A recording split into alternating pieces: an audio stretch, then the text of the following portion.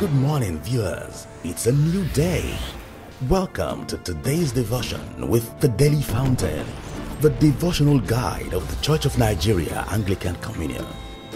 Invite your family and friends. Get your Bible and your Daily Fountain manual while our devotional leader takes us on today's devotion. Uh, good day, viewers. Uh, thank you for joining us uh, uh this Thursday uh, in our Daily Fountain devotional. Uh, we welcome you, and it's brought to you by the Church of Nigeria Anglican Communion. God bless you as we take this devotional together.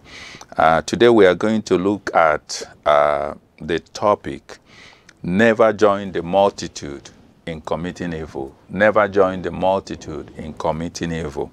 And our text will come from Exodus chapter 23, 1 to 9. Exodus chapter 23, 1 to 9. Let us pray. Father, we want to thank you for calling us out as your people, Lord, to be different, to be the light of the world, to be the salt of the earth. Father, to show the way to others. We pray, Jehovah, that Lord, you will help us, you will give us understanding. The Bible says that the righteous is as bold as lion.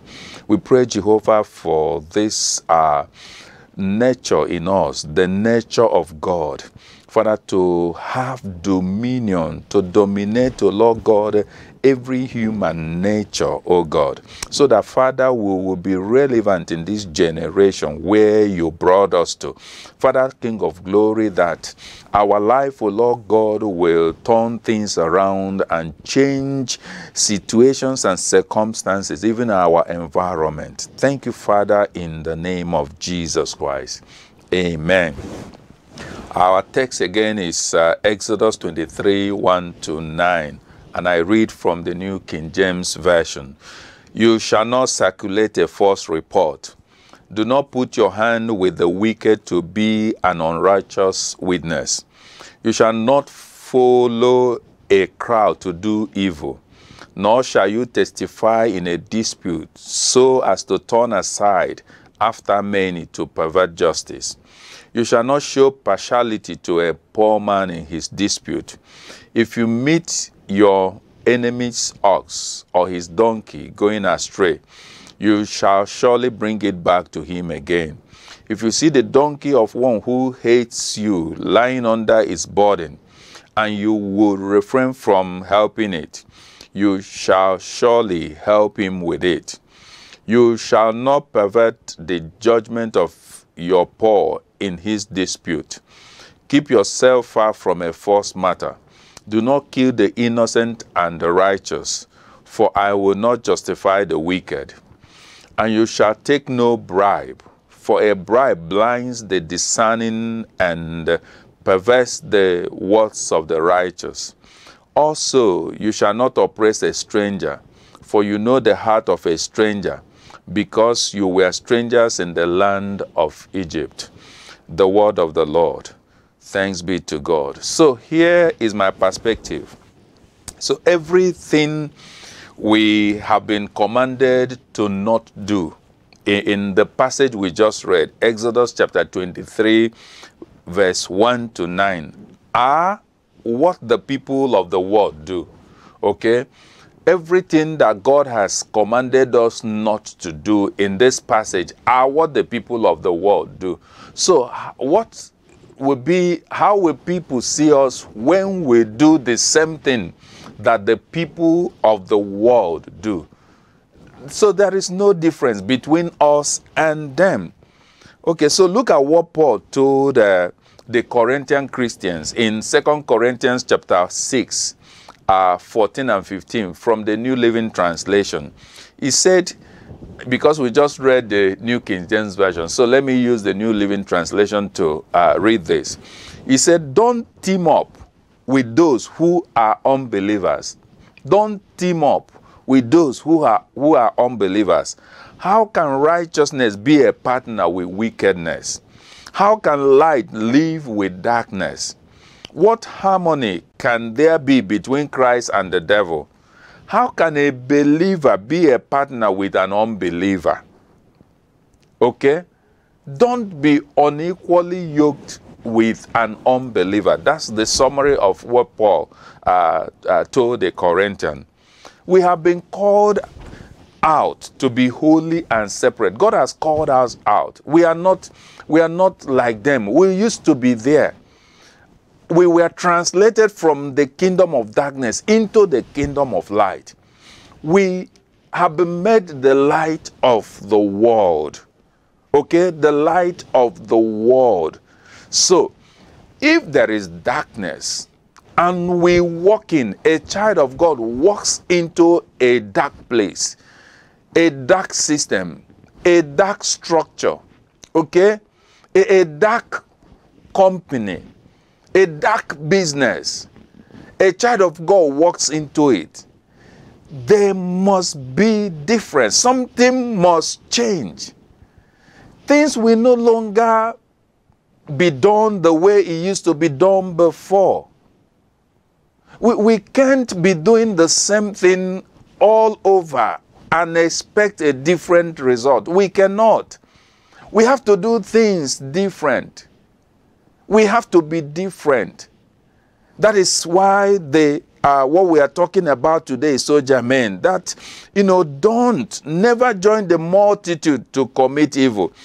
Part of the problem we have in this country today is the fact that, you know, we are all, everybody is a Christian, so to say. In fact, I will say it this way, you know, even our cars are born again. You know, you see in our cars, you know, all kinds of stickers, you know, uh, about God. And the same people you're going to meet in the office, the same people you're going to meet in the in their workplace. And you ask yourself, all this lifting holy hands, all this praying in tongues, all these night vigils, all these things that we do, and I am in no way saying that they are wrong. But if the same people, the same character that do all these things are the people you meet, some of them you meet them in the office, you ask yourself, where is the Christ in what this woman is doing, this man is doing? So it looks like the church is raising a bunch of prayer collectors. So we verbalize these things, but in our actions, it's not there. Oh my God, have you not read that the Bible says that you are the Bible that people read? You are the Bible that people read. When they see you, they, there are people that might never read the Bible. The only way they will know what the Bible talks about is when they see you. Again, you go back to how the first people, first, first, first believers were called Christians. They were called Christian because of their way of life. They were called Christian because they were not conforming to the dictates of the Roman society then. And the people looked at them and said, These guys are different. These guys are not like us. And somebody say, oh, they are followers of Christ. So they started calling them Christians. So today, you are called a Christian. The question is, are you really a Christian? When you join unbelievers to commit iniquity, when you join, you know, when you when you follow them to do what is not right, so let me ask the question why do, and that is how I'm going to address this uh, uh, topic, why do Christians sometimes join the multitude to do the wrong things? Why do Christians sometimes join the multitude to do the wrong things? And one might be lack of genuine conversion. Lack of genuine conversion, you know, not wholeheartedly given your life to Christ. A, a, preacher said that some people, instead of dying at the cross, fainted. Okay, they passed out. They got to the cross. They saw the image of Jesus. They saw the blood. They saw the suffering. They did, you know, and they fainted. They fainted. And uh, people like that, what it would take to revive them, if you do a CPR on them, chest compression, okay? and uh, you know uh, give them some oxygen. They will just revive. So the devil will come and look at this guy. Instead of dying with christ he fainted at the cross. And the devil will do a cpr give the person some oxygen and he will revive. So nothing changed. A christian is supposed to be a dead man according to galatians 220 a, a Christian is supposed to be a dead man. The book of Galatians, Paul writing to the Galatians, he said, I have been crucified with Christ. Paul have been crucified with Christ. So it's right for me to say Chukuma has been crucified with Christ. It is no longer I who live, but Christ lives in me. And the life which I now live in the flesh, I live by the faith in the Son of God who loved me and gave himself for me. So I am living a borrowed life. It's not my life. If you're a Christian, it's not your life.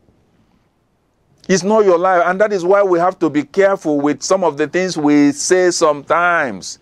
You know, when we garnish our conversation with I, I, I, I, I. This, this person did this to me. This person did the other one to me. So, so, so they did to you. Are you sure? If you have been crucified with Christ, if it's no longer you that live, if it's Christ that lives in you, if it's Christ that lives in you, it means that whatever they do, they, whatever they have done, they have not done it to you, they have done it to Christ. You remember how what Jesus said to uh, uh, Saul on his way to Damascus? He said to them, Saul, Saul, why do you persecute me? So why, when Saul was was in the business of persecuting the, the, children of God, even to the extent of people being killed. It was not really those people that were being persecuted, it was Christ that they were persecuting. No wonder he said, If you will hold your peace, I will fight for you. No wonder he said, I will fight against them that fight against you, just for you to hold your peace. If you hold your peace, if you let me, if you sit at the, my right hand, I will make sure that I subdue your enemy. But if you want to fight your battle, you go ahead and fight your battle, and God will, God will fold his hands. So, we are expected, the expectation, it, what is supposed to be is that we are all going to be dead people. Dead people, no longer us that live. So that's the reason why Christians, sometimes, you know, sometimes Christians join the multitude to do the wrong things because they are still living. And, and, and you know, this dying thing is serious for Paul. Paul will say, I die daily. So, so, so it's a daily thing, it's a daily struggle, it's a daily battle, it's a daily fight will the devil come to you know revive you to try to revive you. Yes he will come to try to revive you but you will make sure you never get revived. You keep you keep you keep pushing back. You keep hitting your body. You keep making sure that it is not going to be you that is talking. You're not reacting based on the dictates of the flesh. You react. Your reaction should be coming from the, the from the realm of the spirit why do Christians sometimes join multitude to do wrong things? Secondly, the fear of persecution. The fear of persecution. When we are afraid of persecution. And, and by the way, you know, persecution is part of the deal. Part of the deal. In the book of Isaiah, the Bible says, when you go through the waters, when you go through the fire, so it's not a question of if, it's a question of when it will come. It's part of the deal, part of being a child of God, part of what we do as a child of God. The Bible said in uh, uh, Acts of Apostles 14, uh, verse 22b, it said, We must through many tribulation enter the kingdom of God we must through many tribulation enter the kingdom of God. So persecution is part of the deal that God that we sign with God. You're going to be persecuted. Jesus said, if they persecuted me, they will persecute you. If they hated me, they will hate you. So we should not we should not expect everybody. I think it's you know false expectation. We expect everybody to like us just because you're a Christian, everybody likes you. No, not everybody wants to do the right thing. But you as a Christian, please do the right thing. Do the right thing. Sometimes it will lead to some things that you will not like. You might even be fired. Somebody will query you. All kinds of things will happen to you. But at the end of the day, when I was in high school, there was this book we read. I can't remember the name, but I always remember the quote. After you've done this and that, and at the end you won by honest means, you are satisfied because this is one of the victories of life. After you have been troubled, after you've gone through all kinds of things, at the end of the day, you still stand your ground you are satisfied. Imagine, imagine, imagine, just imagine if Joseph, because of temporary um, uh, uh, uh, privilege, you know, something that he doesn't even know how long it's going to last, got into that relationship with Potiphar's wife. You know, Dave, Joseph might end up, you know, being a, a fornicator, head of the civil uh, uh, service unit in the house of Potiphar. He will just end up being the chief servant. And, and you know, you know, there is the devil is is starts something with you. He won't tell you the how it's going to end. It, might not also even end well. You know, one day, one day, the woman will get tired of him because another young person with six packs will come. Another young person that is handsome will come. Another young person that mm, that can can perform better than him will come, and he will dump him, and that will be the end of Joseph. But Joseph said, "No, I cannot do this. I will not do this. I will not sin against God. Brothers and sisters, don't because of persecution. What happened to him, you all know. But it was through everything that happened. It was what got him to the palace. You know, after you have suffered a while, that's what the Bible says. After you have suffered a while, God will definitely settle you. Don't forget that. Why do Christians sometimes join the multitude to do the wrong things? Three, not being fully aware of who we are. Not being fully aware of who we have been called to represent on earth. Not being fully aware of the fact that we are ambassadors.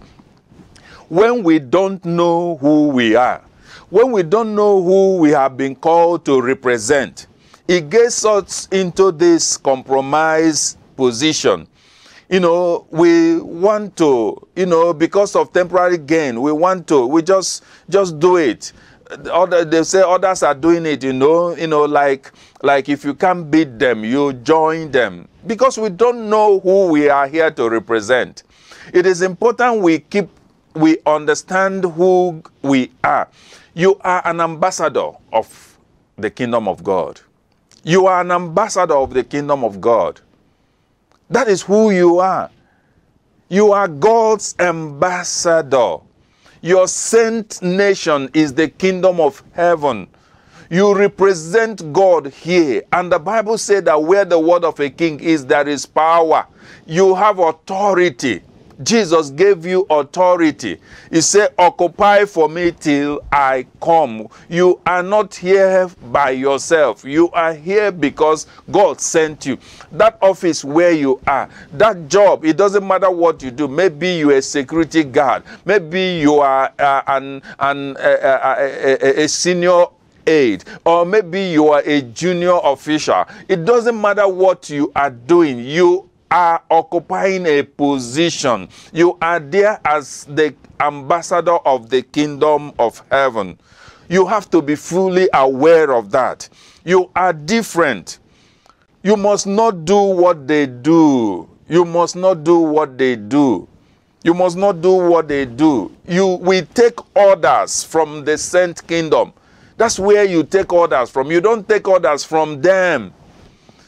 Jesus will say, You are in this world, but you are not of this world. You are in this world, you are not of this world. And Jesus taught us to pray and say, We should say, Your kingdom come, your will be done on earth as it is done in heaven. So it is whatever is obtainable in heaven that we are going to be doing here. This is dress rehearsal for us. This is dress rehearsal for us. When we say, Let the kingdom of God come, we are saying, Let your will be done on earth as it is done in heaven. Who are going to implement this will? It is you, the ambassador of heaven. It is you, the ambassador of heaven. It is you that will will will will will implement this thing. It is you that will start doing this thing, and other people will watch, will be watching, and they will be looking at you. After a while, they will say, "Oh my God, this way is the right way." That is how you keep conscripting people into the kingdom of God, so that others are doing it doesn't make it right. That others are doing it doesn't make it right. Okay, your fountain you know, check this. Your fountain should not produce sweet water and bitter water at the same time. James said it. Your fountain should not produce sweet water and bitter water at the same time. It cannot be. In, on Sunday, you are a Christian, Holy Ghost filled, tongue talking, demon chaser. Just after service. In fact, some, sometimes some people even start their quarrel from their heart, you know, because they look at how this, this person is dressed. Okay? They start their quarrel and envy will start creeping in. Or maybe the, the pastor, you know, recognize somebody, you know, say something about somebody, and the, the, the, the, the, the person is like, oh, why not me? Okay? We are not like them. We cannot be Christians on Sunday and on Monday we become uh, ambassadors of the kingdom of devil. We cannot be God's ambassadors on Sunday and Monday, Tuesday, Wednesday, Friday, Saturday, except the few hours we attend fellowship in church. We become ambassadors of Christ. And the rest, maybe you have not observed it. Next time you go to a Chinese restaurant, you will see their Buddha. You will see their Buddha in front of the, the restaurant. You see their Buddha, they're positioned. They go to the market with their God. They go to the market with their God. Even the Muslims do the same thing. I'm, eh, well, I'm, I'm, not going to, I'm not going to say whether it's from the heart or not from the heart. But the fact that they go to the marketplace with their God. How about you, Christian? We are not going to be displaying all these things. Yeah, I know we have all kinds of signs.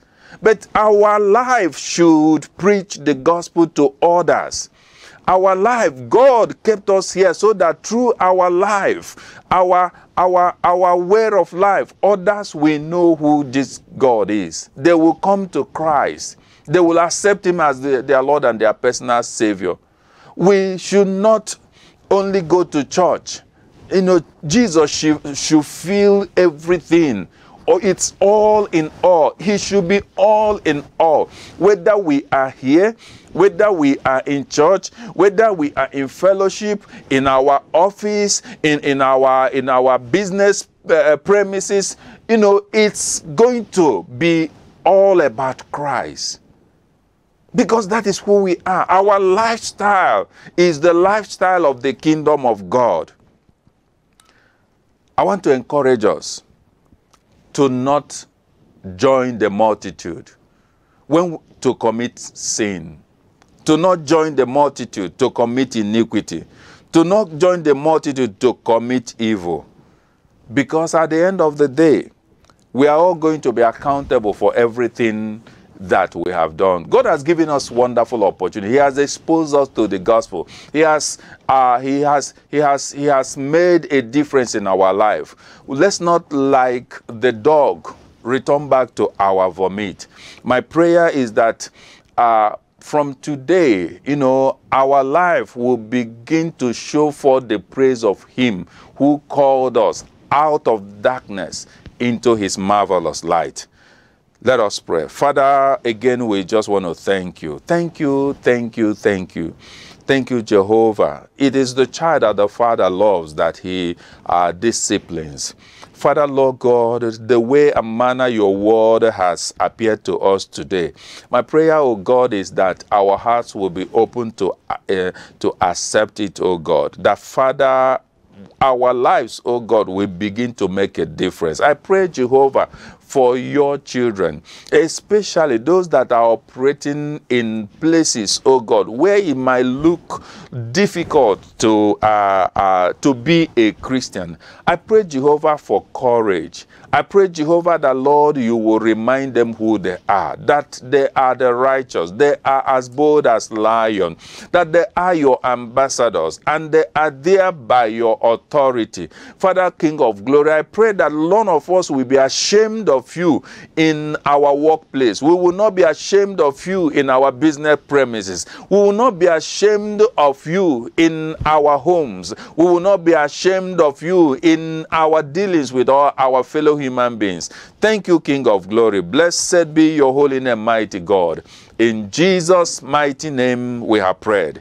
Amen. Amen. Thank you so much for uh, joining us today. May the Lord bless you. May the Lord keep you. May the Lord make his face shine upon you. May he be gracious unto you. May the Lord grant you peace now and forevermore. Amen. Remember to join us tomorrow for another edition of Daily Fountain Devotional. God bless you real good. We thank you for fellowshipping with us today.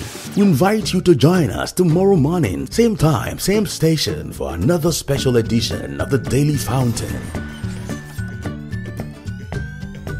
If you are led to sponsor or support this program, please contact the numbers and email all showing on your screen.